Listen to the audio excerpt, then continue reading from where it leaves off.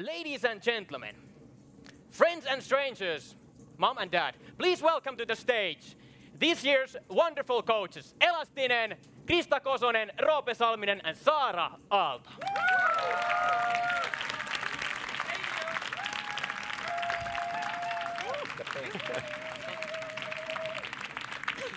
and guys, you can go there and sit down. Um, as this is a fireside chat, so I was thinking about bringing you guys something. Hopefully you had some snacks before, but if not, uh, I have some marshmallows. So, Roope, you're a smart man. You can start opening. And there you go as well. You have sticks too, so you can share these with others. Uh, we had some issues with the fire though, but you can imagine, I guess. So the first question, I don't, I don't mind sitting down yet. So the first question goes actually to you guys. Please raise your hand if you have learned something new today. Quite many of us have. But coaches, this question goes to you. Um, what have you learned during the Talk the Talk trainings and during this day? Elastinen, you can start. Yeah, my session was uh, it was a weird experience with the guys. I was talking about red rhetorics. That was my topic and how to make your bring your point through. And it was a day that I had just had a, like a photo shoot of my own, and I was in, in the middle midst of uh, releasing a new single, and I apologized for the guys for maybe using them as a shrink, as I was telling them about my problems, my uh, my fears, and my like uh, uh, thoughts at the moment. But uh, maybe they're just stuff that a performer goes through. So I guess the guys got something out of it, and I've learned a lot. Uh, such great personalities, a lot of guys that I, I think will make an impression in this country and in this world uh, later on in their careers and in their lives. It's been a privilege. Thank you, Ella. What about Roope? Uh, well, I echo uh, everything uh, Kimmo said. Um, I think uh, what I've learned most about uh, is, is courage. Uh, when I when I saw these guys, my um, my coaching session was all about improv.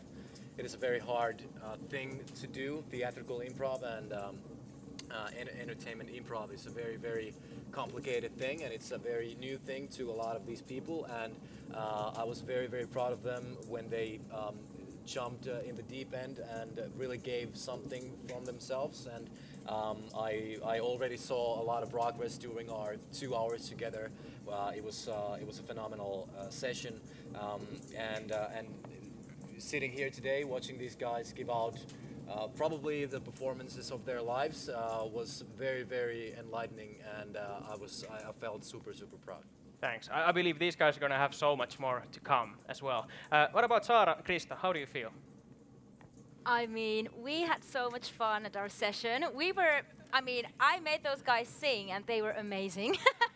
and we were shouting and, and singing and, and we had a catwalk and we were like strutting the catwalk and, and you all had such amazing personalities. And I think today, that was like the best thing I could really, really see. I mean, I, I just saw your personalities coming through, and that was amazing.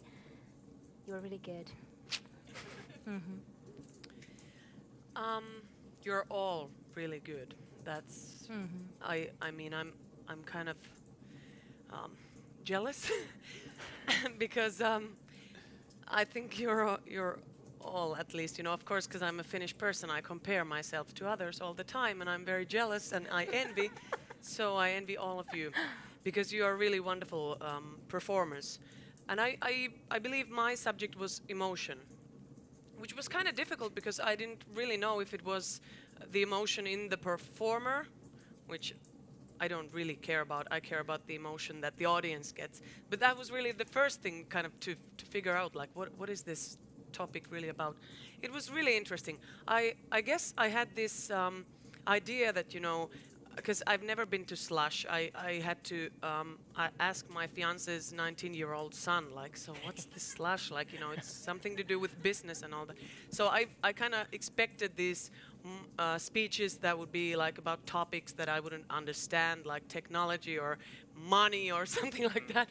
And I was really, um, I got my like, I got a lot of faith, you know, about the future and about you know you guys. Like all the topics were so personal and also like nothing at all what I have figured like but that's just you know stupid me. But I was really just impressed by by the topics by the personality um, and and by your courage. And um, that's you know I, I got a little bit emotional after that day. So um, it was just wonderful. And I, I have a lot to learn. Thank you, guys. Um, as I described, this is probably one of the most scary thing I've, I've done in my life. But you're professionals, so describe all of us the last time you were not just anxious, but the last time you were afraid before coming to the stage. And how did you overcome that feeling? Well, um, the last time I remember being like deathly afraid was before my first uh, live uh, television uh, broadcast. Uh, it was uh, back in 2000, 2015. Um, I hosted uh, the UMK competition, which uh, Saara just won. so congratulations on that. Uh, so um, yeah, but I, I, was I was the host of this UMK competition where we select uh, the um, the uh, the Eurovision uh, contestant for for Finland, the representative uh, for the Eurovision contest, and um, I remember we we shot um, the trailers for it and we shot these inserts for it. Inserts are these little things that are pre-shot that you put on the live show. And we've, we've, we've been shooting that uh, show for um, two and a half months, I think. Mm. And, uh, you know, I, I fitted all my suits and everything and I got my, my scripts. And then um, uh, 30 seconds to air was uh, the last thing I kind of remember. I remember the, the, the studio guys saying, all right, 30 seconds and then we're live. And I remember my heart beating so fast, I, I thought I would literally die. And, and I, I remember thinking, if they had uh, Heikki Paasonen right now in full, in full setup, and he, he came up to me and said like, yo, Robert, you don't have to do this. You can just, uh, you know, I, will I'll take it from here. I would have given the, the, the opportunity of my life away. I would have said, all right, Heikki, please do it. I, I wasn't cut out for this. And I remember feeling so insecure. I, I didn't, I didn't feel like I was a good performer at all. I knew what I had to do, and I just I went through the motions. And the only thing I told myself for the first five minutes of that live broadcast was, "Man, I suck. I suck. This sucks. This is the worst uh, thing ever. I'm the worst host of all time. That was me two minutes ago, you know? Yeah, but that's, that's how you feel, yeah, right? And then yeah. you go through the motions and you realize actually the audience is pretty forgiving. Like they know it's your, you know, you're not a professional at this yet, and, uh, and they, they're not looking for faults in your armor. They're not um, looking for reasons to roast you, right? And so uh, I learned that, you know, trial by fire, I think. I just had to do it because I was, you know, I, I signed the contract and I was like, it's months away. And then 30 seconds after, um, you know, uh, before it happened, I got, I got really scared. And then, you know, I just had to do it. And then after I did it, I've never been scared um, of, of, any performance in my life after that. So uh, I think uh, you just got to go and do it and realize that you didn't die and you're not going to die the next time either. Hmm. Glad you're here alive. Uh, wh what about Saara? Uh, you seem, well, what was the last time? Like, You've been in very, very big competitions, but what was the last time you were really afraid? This, this is really hard, actually. I can't remember. Uh, but I learned my lesson very early. I think I was maybe, I think, 14 years old or something. So um, when I was 12, I took part um, into a piano competition. So I, I played these certain songs on the piano.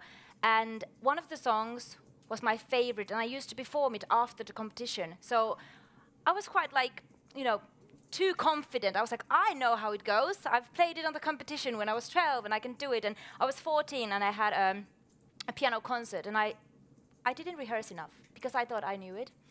And I started playing. It was like very like Bach, like very like melancholic and do do do. And after two first chords, I didn't remember anything and I couldn't stop. I was like, I'm not going to stop. I have no idea what's going on. And I was just playing randomly, whatever. Dum, dum, bum, bum. Like, I, I had no idea. It was terrible. And after that, I, I kind of realized that if I want to perform, I have to know what I'm doing, and I can never be too confident that I actually know what I'm doing. I have to rehearse so well that even if I have a blackout, I know what, you know, it's in my muscles so well that I know what, what I'm doing. And after that, actually, I rehearsed so much, I, I never, I was never scared again. So, Thank you. you know, I, uh, yeah, yeah, sure. I've had um, almost the same experience when I was, I think, 10, and I, I took part in a horseback riding competition. and they gave me this paper that had, you know, you have to do these certain things. And I was kind of like, thank you, and just put it somewhere and just waited for the day. And I just went there. And basically, I didn't, like, I, I saw everyone else, oh, I had to learn something. And I got disqualified. And my mom was there, and I was just crying uh, in back of that horse, like after that, and I still see nightmares of that. Uh, yeah, I know the and, feeling. and you know, I believe in, like I told you guys, you can never rehearse too much. yes, exactly. You Uh, have to know it by heart. Yeah, and I think when you rehearse, then you will get the freedom, like that. Like Yeah. you are on stage and you know exactly what you're doing, and people are asking me like, "Sarah, you are never nervous, aren't you? Like you never look nervous." I'm like, "No, I'm not, because I know what I'm doing." And that's, I, I think that's the main main thing you have to learn when you want to perform. Yeah. Uh, Ella, you had something. I think I'm I'm always super anxious before shows. I, I, I get fears and uh, not not severe stuff, but uh, but to me I use it as a workforce. It's like uh, if if I don't feel anxiety and I don't feel nervous before a show, I think something's wrong. And the worst so shows of my life have been the ones that I didn't care of. You know, like e- even though uh, it brings out the best of me, and that's what I was trying to say to the guys as well. It's like you can you have to like le- leash that power and use it to your advantage instead of letting it get to you and, and destroying you. It's like soon as it starts, you uh, then you when you're rehearsed and when you know what you're doing, then it, it's it's gonna go away. But for me, it's a way to gain focus towards the thing that we're gonna do now. Just maybe focus for a f- 15 minutes, 10 minutes, uh, be like uh, anxious and stuff like that. I, I have uh, a lot of those issues. My friends don't like me before a show, so it's. Common feeling. Uh, Robert, do you mind? Go ahead. Yeah, it's like taking a candy from a kid. Uh, And I say that Yeah. afraid sure. is like, that's, you use the Yeah. word afraid.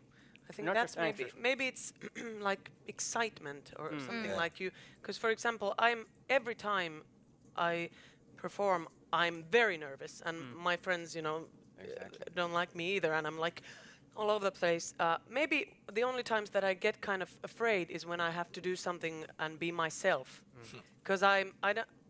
I'm not a very likable person.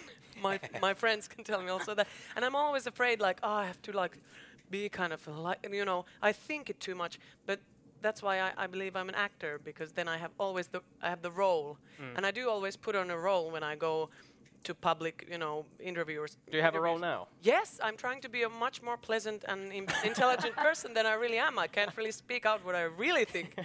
Um, no, but but that, those are the times that I am kind of um, a little bit afraid. Like, will I screw this up? Yeah. great acting, Chris. Yeah. Great acting.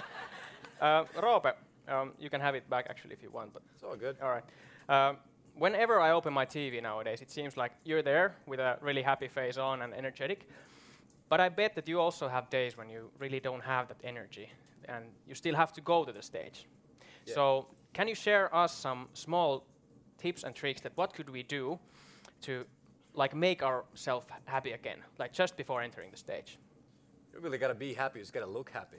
so, How do you do that? Like, uh, well, uh, well, uh, I'm gonna keep this very, very brief uh, because um, there. I mean, I could probably hold a lecture on this, and I actually do hold lectures All on this. But we're not um, paying you anything. uh, yeah. Um, but I, I'm sure uh, people have other other things to do as well. The thing is, um, for me, you know, it's a- it's a job, and you got to go there and you got to perform your job, and and it's the same thing for whoever. Um, the the cashier at the register when you when you you know bought these marshmallows could have just lost uh, you know um, her or his uh, husband or or a significant other or or heard really bad news about um, their own health, and they still have to do their job, right? Yeah.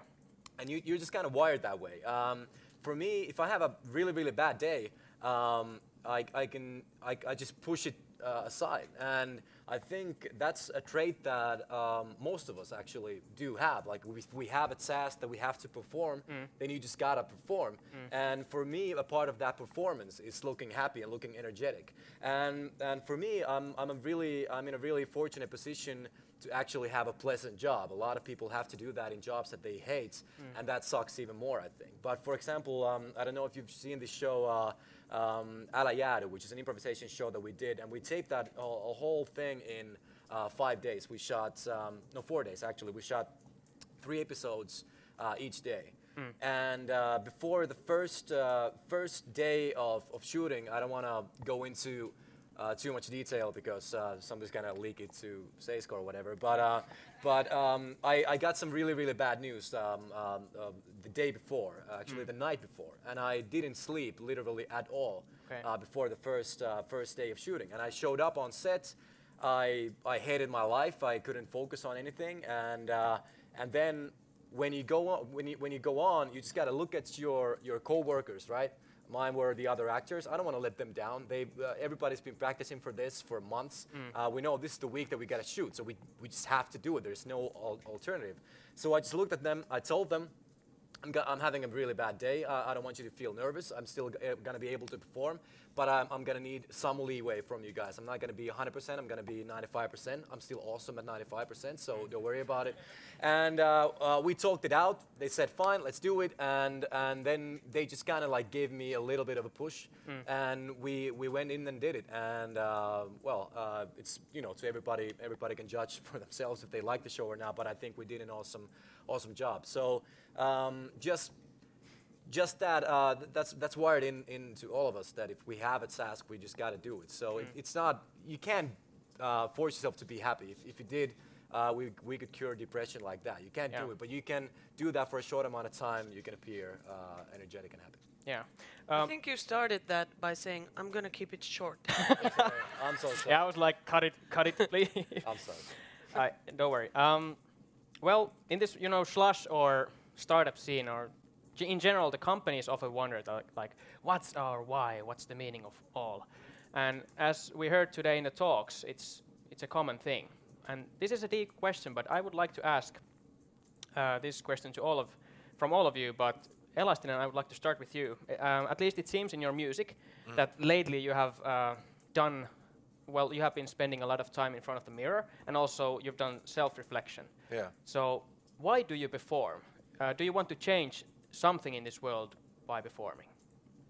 Yeah, I guess uh, most of it has to do with it being my passion and something I could I can't really see myself living without. I've done it since I was a small kid, performed and and uh, in my line of work uh, is to come to say what Robert just said. It's like uh, as an artist, then again, it's like authenticity is everything. So really, the key is to choose choose things as a speaker as well. Choose the topic and choose the songs that get you into that mood and get you into that feeling, and then it's not it's gonna be authentic. The- Like performing, I I don't know how to act in in my music, and and I, it's like I can't put on a happy face if I'm not feeling it, feeling it.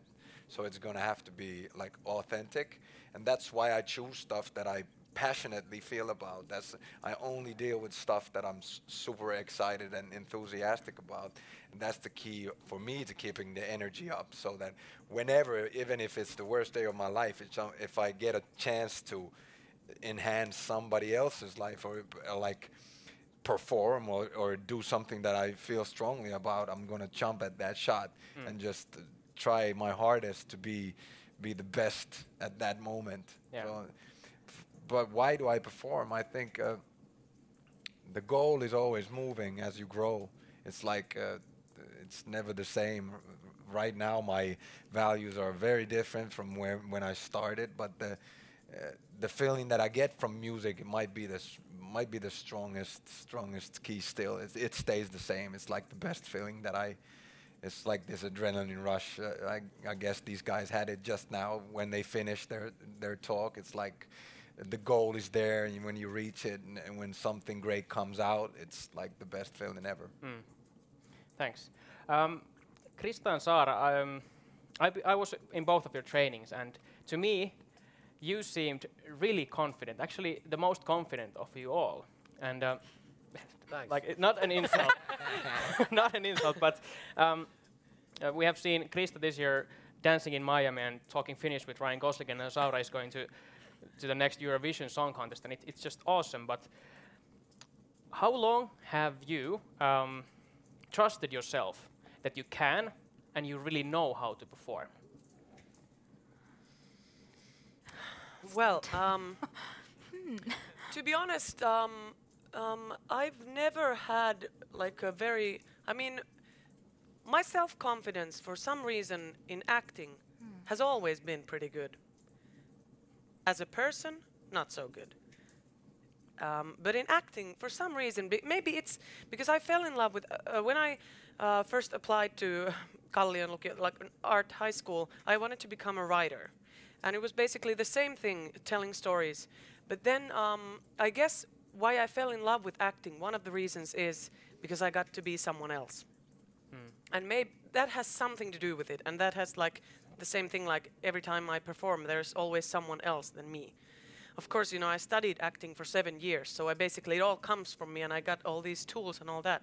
But um, there, there's something like I know why I'm doing this. I know what I have to say. There's this message, uh, message that I'm delivering. They're not interested in me, in Krista. They're interested in these lines that I'm giving. You know, the point is to get this thing through to them, whether it's, you know, Finnish to Ryan Gosling or or a Chekhov play or or a joke that's the whole, maybe I think the confidence comes from there. Um, yeah, but Yeah. yeah. and it comes from also I think maybe we have that trauma, like of failing miserably because of not uh, practicing enough, rehearsing enough. So I always rehearse like crazy. Sarah, when did you uh, gain like in, enough confidence for performing? When was the, when was it? Well, actually, for me, it's the same as, as for Krista. Um, that when I'm on stage, I'm confident, and I have always been like that. I think I probably because my, my family and everybody were really like supportive, and I was like, since I was a child, I, I just I don't know, I performed I, and I had fun. But then my my like. You know, at school, for example, I wasn't that confident with people because I was bullied and stuff. So I was really like insecure when I met new people, but when I got on stage, I was like, I can do whatever I want, and I've always felt felt that actually. Yeah. Um, then I would like to, I'm, I'm aware of our time, I would like to ask one, one, one volunteer. From us, Yes, okay, Robe. Um, what is your most miserable failure on stage? Um, tough speaking one. too long when I when I told you I'm gonna keep it short. Um, yeah. My most uh, uh, miserable failure on stage, uh, well, uh, would probably be from uh, from third grade. Uh, I literally uh, pissed my pants uh, giving a, a book review uh, in front of class. That's uh, that, that that should probably be. It. It, it was third grade too. It wasn't like first. So Good. You had read the book, right? I had read the Yeah, book. all right. I had I had done anything. Uh, I, I, I I did everything, uh, but um, I was too afraid to tell uh, everyone that I needed to go to the bathroom, and I thought I would I could hack it, and I didn't. All right. All right. But let, um, le- I'm, I'm, I'm, sorry, I'm not sorry for that. But um, let's have another volunteer. Elastinen, you seem like one. Yeah. Um, So mine wasn't good enough. I failed at this too. Never pissed my pants. Elastinen, what uh, is your, if you have to think right now, top of your mind, what is your favorite moment when you have been performing? I think uh, still it is one of those super anxious times right ahead of my first uh, Hartwall Arena show when I was there by myself. And before the curtain opens, that's just something super magical about that. The biggest, I guess, the biggest anxiety and fear and enthusiasm in my life was that uh, packed into that moment. Yeah, I, I bet. Yeah. Um, now, audience, I hope you're still awake. Definitely you are. I can see. Well, you're napping still, so. But um, how many of you, please raise your hand, how many of you would like to get better in performing? Almost everybody. well, then the follow up question how many of you know where to start? Not so many. Well, mentors, coaches, uh, this is a question for you. How can we, all of us, come become, can become better in performing? What small or big things we could do? Sara, I would like you to start. Okay, well, for me, actually, performing is actually how you meet people, how you communicate with people. And for example, when you go to a supermarket and you buy stuff, that can be performing as well. Like you, you, you see the, the people, um, I mean the person there, and you, you pay and you say thank you, and you look at look at uh, look into that person's eyes. So basically, that is kind of like what you do on stage as well. You you walk on stage and you look into these people and you talk to them as you would talk into, you know, as you would talk to whoever you meet. So actually, I try to think of performing as just talking to people. Like practicing it in everyday life. Yeah, you can like you can do that. Like when you go shopping, just be very like confident. Say hello, thank you, nice to meet you, and that is basically what you do when like you all walked here and you were just talking to us very naturally. And actually, that's performing. So you can do that everywhere.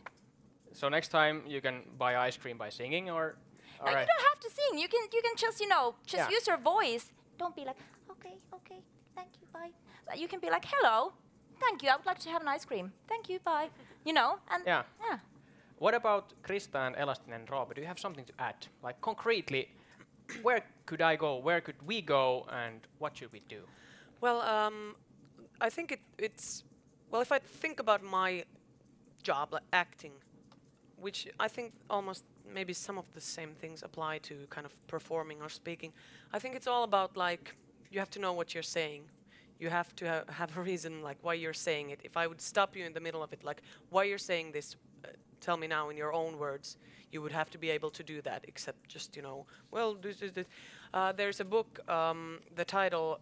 Uh, it's a Samuel Beckett book that I kind of apply to acting. It's called Huonosti nähty, huonosti sanottu I guess it's like poorly seen, poorly said. mm.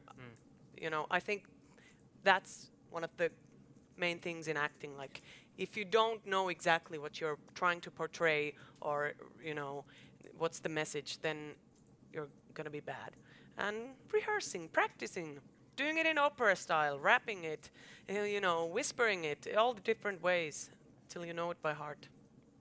Yeah, and then to me, it's just basics of bettering yourself as a human being is like studying what you did and learning from the mistakes erasing your uh, the things that you don't like about yourself that like about your performance. You have to like I've done uh, like uh, listened to a lot of recordings of my speeches and thought what's wrong and just analyzing it over and over again every time you do it. Like what was good today what was better what was worse than yesterday so did I hear a concrete tip like recording yourself? Yeah, that's Film yourself. Film yourself. Yes. Okay, that's a tip.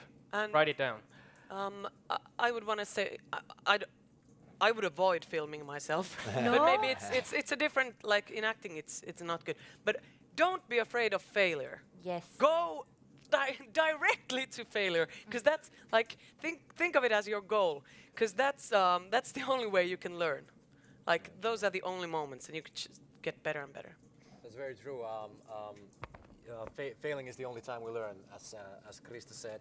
I think for, for concrete steps that any, anybody can take um, is uh, watch great performance uh, uh, from on you know YouTube. You can go on, uh, you can watch TED talks if you want to be a better talker. You can analyze what they did well, um, what they what they could have done better, what you would say. Um, you can you can read books on performing too. A lot of people say, you know, I want to be a better performer, mm-hmm. and they don't really um, take that much effort. They think you have to go to, you know, Teatterikorkeakoulu or something. But you can you can you can look stuff, uh, that stuff up online. When I got my first um, job as as uh, giving a uh, giving a speech or giving a lecture, mm-hmm.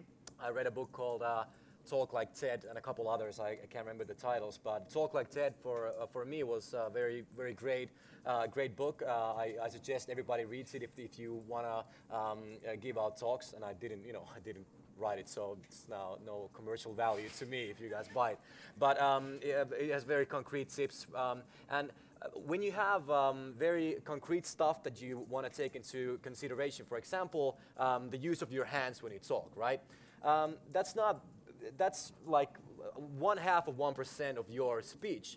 But for your confidence, to know that, to know that, all right, now I know what to do with my hands, that could make a difference between, uh, um, you know, your confidence uh, and you feeling very unconfident. Also, uh, one last thing, which I think everybody should do at least once in their lives. Uh, of course, um, this is coming from me, so take it with a grain of salt. But I think everybody should, um, uh, once in their life, lifetime, um, uh, attend an, an, improv class because uh, we all do improvisation every day. When you when you go to bed today, uh, you couldn't uh, ever have predicted everything that happened from the moment you woke up in the mm. morning. So you, you do improvisation all the time. Somebody asks you um, uh, uh, an out of left field question, and you have to think of an answer on the spot. You just improvise. It doesn't take uh, uh, extraordinary abilities. And uh, in a few hours class, you, you can gain confidence in meeting people. You can gain new ways of communicating. And as Saara said earlier, performing is kind of like talking to people. I would like to use the word connecting. So mm. you just learn a way to connect. And also another thing,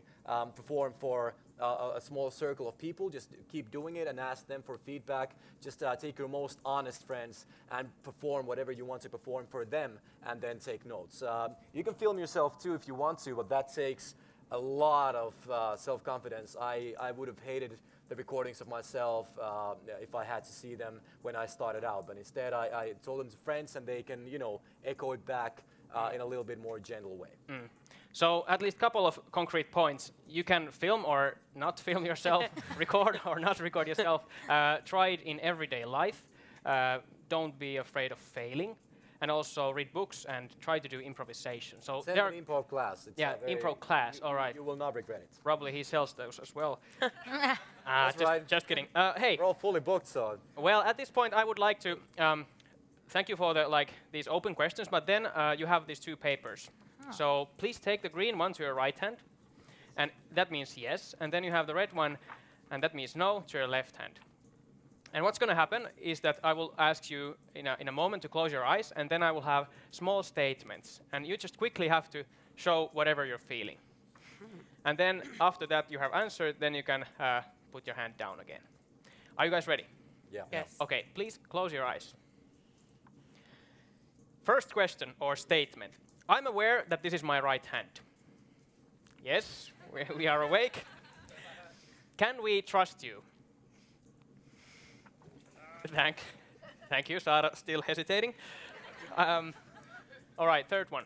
Sometimes performing is shit.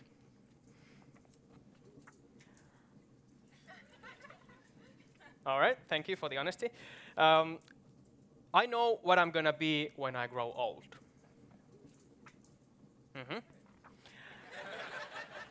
uh, thank you can lay, lay your down, hands down. Uh, I'm talented enough to be here.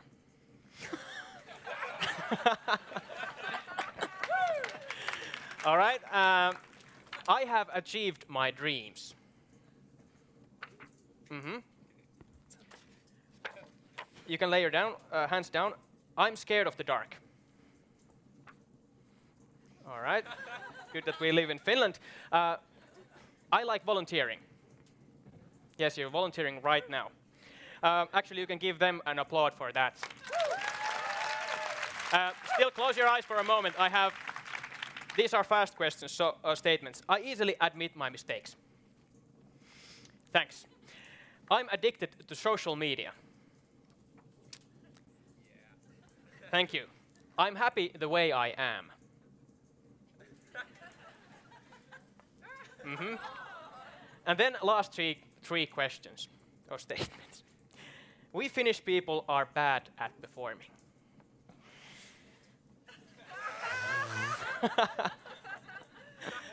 Don't worry, it's, it's not that serious. then, Finnish people should talk more. And then the last one. It was easy to choose this year's top three talents. Ladies and gentlemen, give a big round of applause to our coaches. And at this point, I would like to invite my partner in crime, Sauli, to step onto the stage. Thank you. Let's give a round of applause also to Viljami